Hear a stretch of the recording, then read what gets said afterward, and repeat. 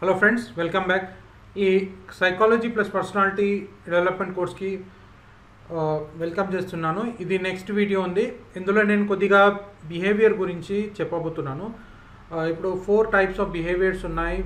ఇందులో వచ్చేసి ఒకటి stable behaviour unstable behaviour introvert behaviour extrovert behaviour ఇలా బిహేవియర్స్ అనేవి ఉంటాయి. మనుషుల్లో డిఫరెంట్ డిఫరెంట్ క్యారెక్టర్స్ ఉంటారు. Different different types of behaviours అనేవి ఉంటాయి.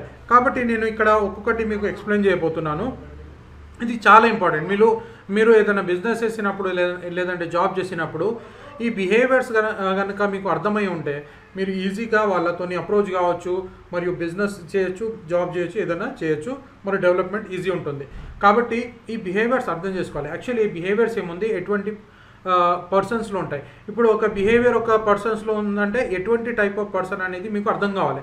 అప్పుడు మీరు ఈజీగా ఓహో ఈ పర్సన్ ఈ ఈ ఈ- బిహేవియర్కి సంబంధించిన అన్నట్టు దాన్ని బట్టి మీరు మాట్లాడితే ఆటోమేటిక్లీ మీకు రియల్ ఎస్టేట్ కావచ్చు లేదంటే ఇంకా ఏదైనా బిజినెస్ కావచ్చు లేదంటే ఇంకా ఏదైనా కావచ్చు మీరు హండ్రెడ్ పర్సెంట్ సక్సెస్ అవుతారు ఎందుకంటే ఇప్పుడు యాక్చువల్ ఏమవుతుందంటే ఇప్పుడు చూడండి డాక్టర్స్ ఉంటారు. డాక్టర్స్ మరియు వాళ్ళ డాక్టర్స్ గ్రూప్లోనే ఎక్కువ ఉండాలని చూస్తుంటారు.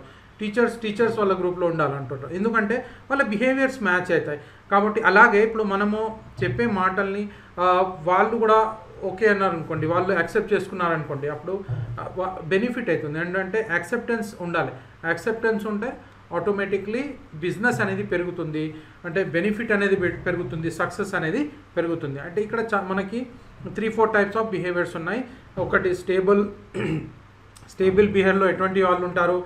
అన్స్టేబుల్ బిహేవియర్లో బిహేవియర్లో ఎటువంటి వాళ్ళు ఉంటారు? ఇంట్రోవర్ట్ ఎలా ఉంటారు? ఎక్స్ట్రోవర్ట్ ఎలా ఉంటారో? నేను ఒకటి చెప్తాను.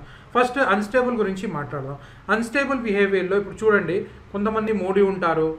యాంగ్షియస్ ఉంటారు మూడీ అంటే ఎలా ఉంటారు? మూడ్ మూడ్ వచ్చినప్పుడు పని చేస్తారు లేదంటే చేయరు. ఏదైనా బిజినెస్ స్టార్ట్ చేస్తారు కాసేపు చేస్తారు దాని తర్వాత చేయరు ఆపేస్తారు. ఇలా మూడీ ఉంటారు.